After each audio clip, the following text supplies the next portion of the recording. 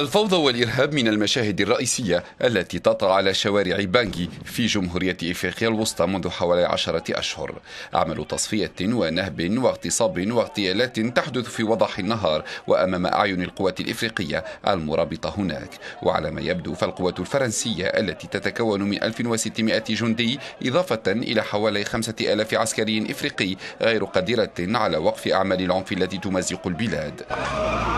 هذه المجموعات تهاجم تجارا مسلمين أثناء فرارهم من بانجي باتجاه تشاد. عمل العنف أدت إلى نزوح عشرة الآلاف من المسلمين. نزوح التجار ساهم في ندرة المواد الغذائية في العاصمة لأنهم يتحكمون في تجارة المواشي.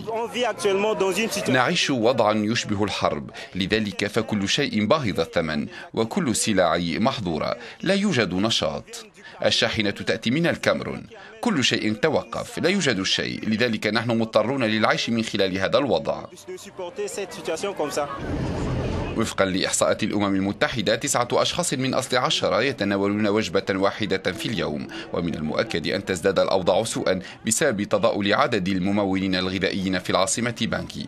حوالي مليون شخص أي ربع سكان جمهورية إفريقيا الوسطى تركوا منازلهم بسبب الصراع الدائري والذي أدى إلى مقتل ألفي شخص. رئيسة البلاد المؤقتة كاثرين سامبا بانزا أمام تحديات كبيرة وفي مقدمتها وقف العنف. في غضون شهر سأعمل على نشر الأمن في غالبية البلاد وأنا متمسكة بكلامي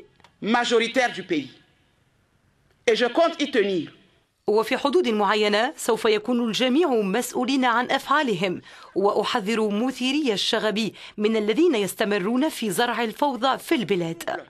Qui continue à semer le désordre dans le pays.